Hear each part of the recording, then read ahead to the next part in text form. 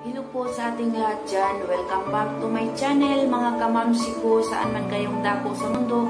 Hangad kong nasa mabuti kayong kalagayan sa araw na ito.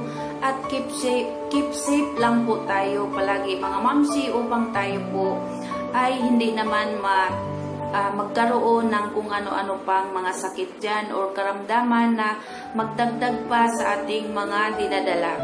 Kung kaya mga mamsi ay ang ating ituturo sa inyo ngayon, ay uh, ito lang po ay akin lang pong uh, sasabihin sa inyo dahil po ay wala po akong mga prutas, mga mamsi, hindi po ako nakababa dahil po ay alam nyo na ang panahon ngayon, ako rin po ay nag-iingat sa aking sarili dahil ayaw ko po rin na magkaroon ng problema. Mga mamsi, ang kailangan po natin dito ay ang ating mga prutas. Yung bilog-bilog lang po mga mamsi ang ating bilihin yung uh, halimbawa, yung mga mangga at uh, yung ating pinya, ang ating orange, ang ating mga kiat-kiat dyan, mga mamsi, yan po ang ating kailangan. Huwag po tayong mag-alay uh, dito ng yung mga katulad ng saging mga mamsi na may nakadikit-dikit or kaya yung mga grapes, basta't yung may nakadikit mga mamsi kahit may Sanga-sanga pa yan. Ang importante mga mamsi ay ang ating pang-alay dito, ang mga bilog-bilog lamang po mga mamsi na hindi nakadikit. At mga mamsi dahil po ngayon ay Gosman, ito pong August na ito mga mamsi ay sinasabi po nila na nagbibigay, nagbibigay sa atin ng kahirapan. Karamihan pa nga po ay palagi ko pong naririnig noon na ito pong uh, uh, ang, ang ay nag uh, parang parang binibitay po tayo mga mamsi sa kahirapan.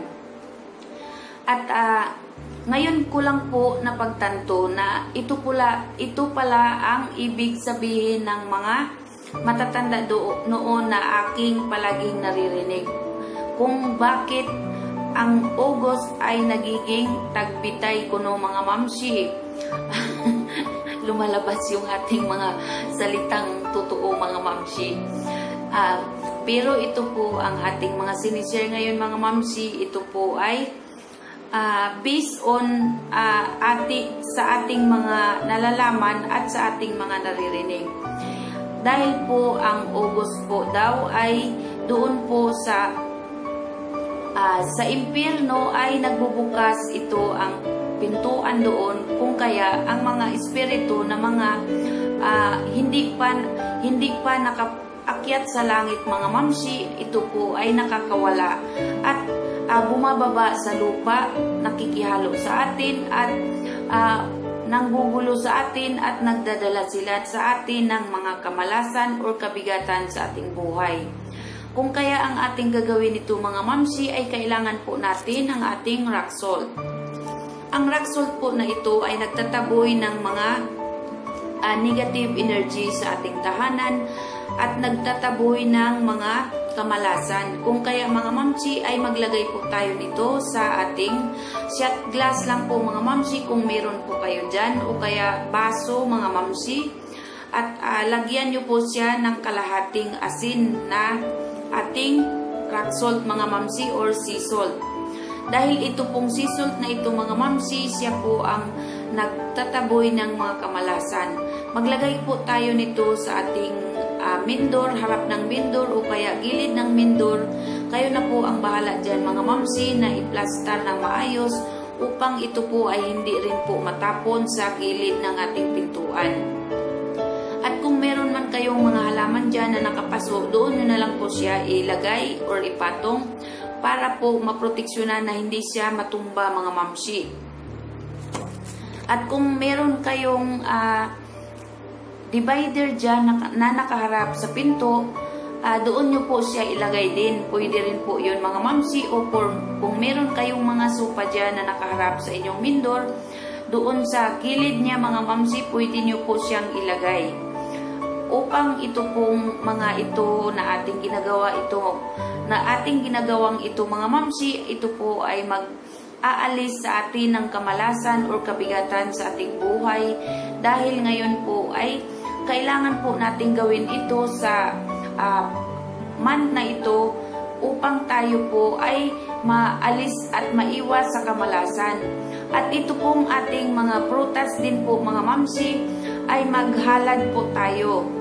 Ilagay po natin sa ating lamesa sa umaga or sa hapon na lang mga mamsi ng mga alas 6. Ilagay po natin doon sa ating lamesa at magluto din po tayo ng uh, kunting pagkain lamang po mga mamsi at ilagay nyo din po doon kasama ng ating alay.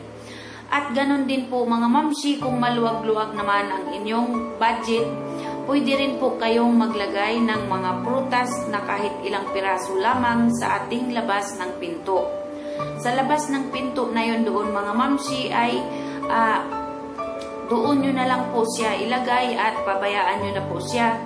At kung halimbawa mga mamsi ay ang ating uh, prutas naman na inalay natin dito sa loob ng ating tahanan or sa ating nilagay natin sa ating lamesa, ito po ay pwede rin po nating kainin.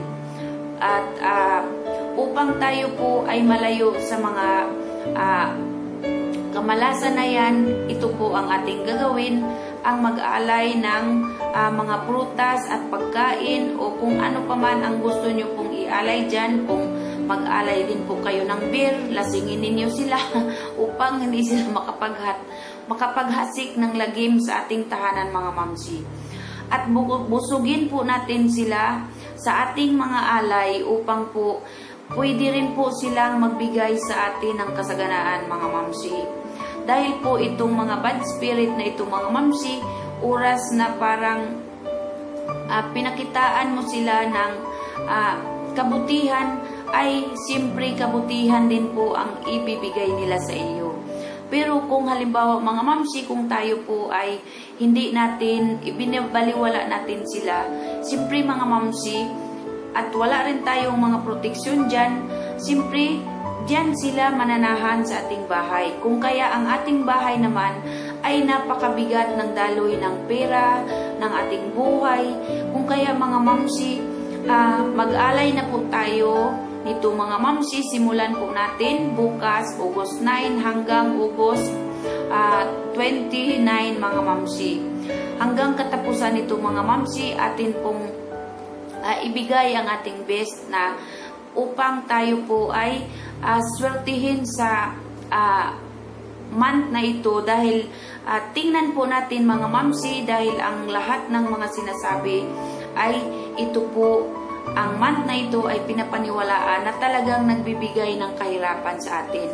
Kung kaya gawin natin ito mga mamsi upang atin pong masubukan ang mga uh, sinasabi, pero po tayo ay gagawin po nating uh, maayos ang uh, month na ito at uh, sa ganitong pagkakataon ay mag-alay po tayo at magsindi po tayo ng kandila mga mamsi basta sa, uh, sa oras ng alas 6 at pagkatapos nito mga mamsi, depende po sa inyo kung ang inyong alay ay atin pong kakainin or atin na lang pong itatabi. Basta't ang mahalaga mga mamsi ay nag-alay po tayo.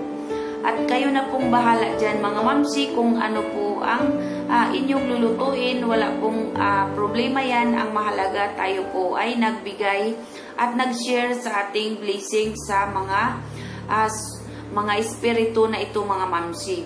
Upang ito pong mga espiritu din na ito ay tutulungan din po tayo na pagaanin ang ating buhay at the same time basta't magbigay, maglagay po tayo ng ating mga proteksyon dito sa ating kabahayan mga mamsi. Yun lang po ang ating kailangan gawin upang tayo po ay makaiwas sa mga kamalasan. At sana po mga mamsi sa mga sinishare ko sa inyo ay uh, naintindihan nyo at naunawaan nyo. At kung hindi naman po ay mag-comment lang po kayo sa baba. At kung nagustuhan nyo ang video ito, please share, like, and subscribe sa ating mga uh, mga baguhan pa dyan, mga mamsi.